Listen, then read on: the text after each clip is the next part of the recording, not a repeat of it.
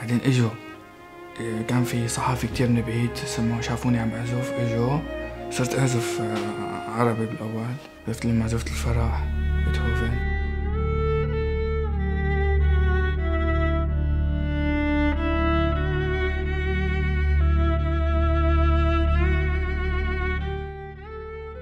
We heard about Rami in the newspaper, and in the report, we heard that he lives with more than 250 persons in a large gym. But he had no place for, um, for practicing, and uh, we thought we could help him. We offered him uh, a room for living here in our house. I think he can't imagine a life without his violin. Making music is uh, something like a, like a language for him. He has uh, this possibility to, to say something.